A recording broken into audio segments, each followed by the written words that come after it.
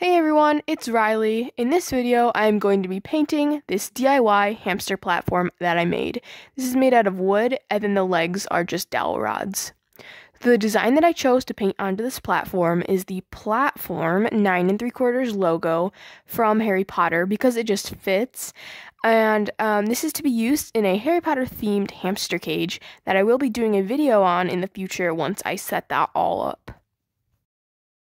As you can probably already tell, I sketched out my design prior to filming this video with a pencil. And if you're wondering about the paint that I'm using, if you haven't watched my Hagrid's Hut painting time lapse already, this paint is 100% non toxic and water based, so it is okay if a hamster were to chew on it. But if my next hamster is an excessive chewer, I will be taking it out of the cage. One thing that I would like to mention is that this video is really, really long. It's like nine minutes long, which is because this took me two hours to paint, so the time lapse is quite long because of that. Another thing I would like to say is that I do apologize for my hand because my hand was blocking the camera view in a few of these clips, so you can't exactly see what I'm painting. So I'm sorry about that. I tried to keep it out of the camera, but sometimes it just was.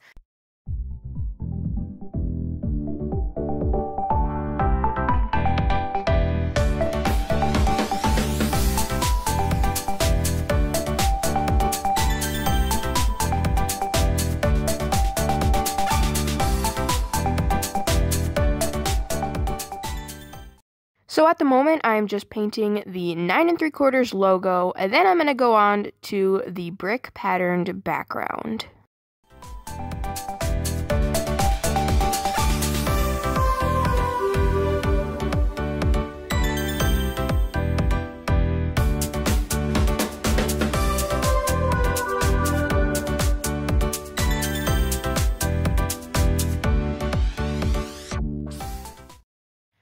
Once I was all happy with the 9 and 3 quarters logo and how it looked, I began by mixing the colors to paint on the brick mortar for the brick patterned background.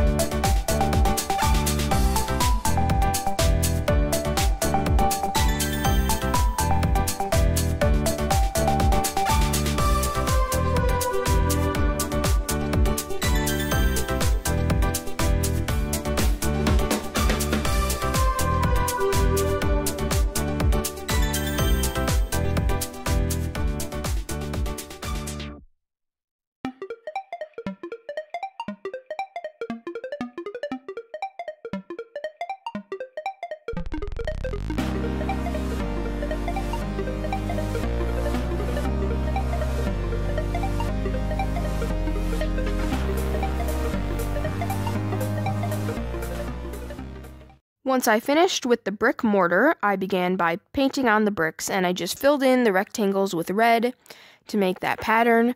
And I'm really sorry if there's any weird lighting changes in this segment. Um, I think my camera was focusing. I'm not really sure what was going on, but I do apologize if there are any dark spots in the video.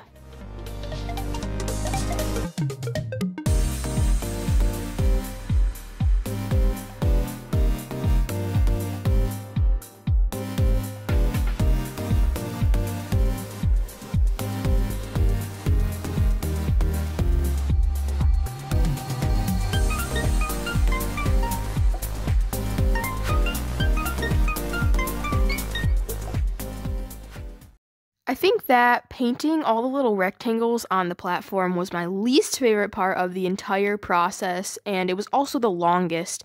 It got really repetitive just painting rectangles over and over and over again, and then it just took a really long time to adjust each rectangle to square it up. So, in this clip, I'm just waving a paintbrush around in front of the camera, basically because I was excited that I finally found this brush because it made squaring up the edges of the bricks so much easier. I don't know why I didn't use it before.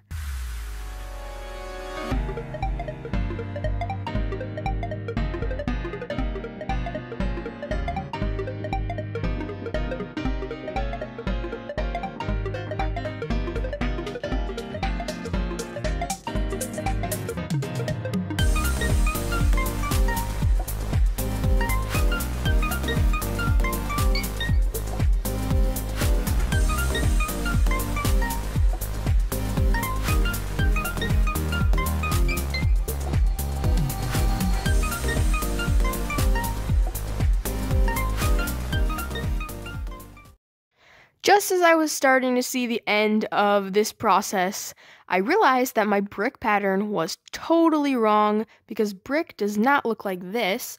Brick looks like this. So I had to go ahead and combine some of the rectangles in order to fix the pattern.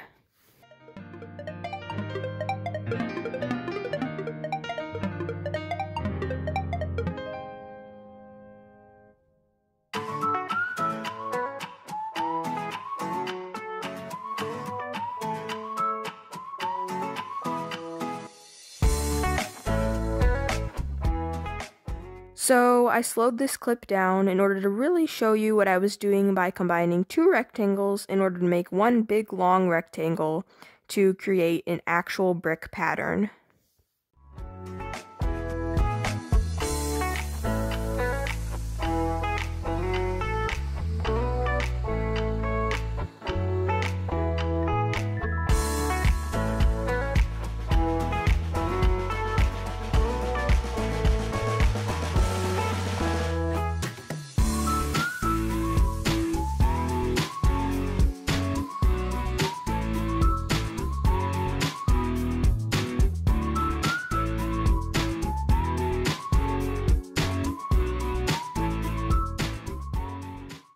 After fixing the platform and tweaking the final design, here is what the platform looks like.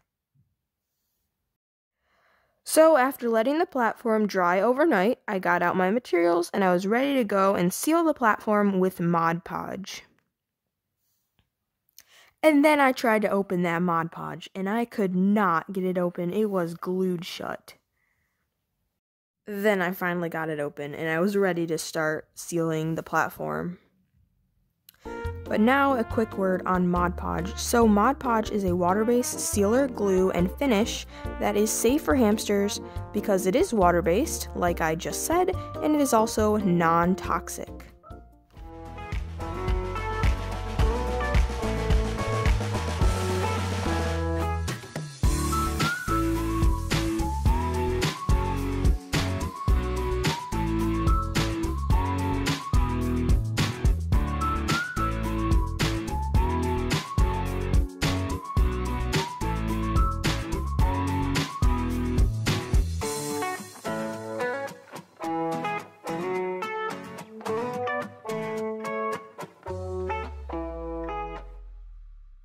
After completing the entire process of the platform, I'm going to leave this to dry for a couple of hours. After I left it to dry, here is the finished result of the platform. I'm super happy with how this turned out. The colors are all really nice and bright, and I think that the Mod Podge looks really nice on it as it gives the platform a pretty glossy finish. Thank you so much for watching this super long video, and I hope you enjoyed it. I cannot wait to feature this platform in a future Hamsters enclosure.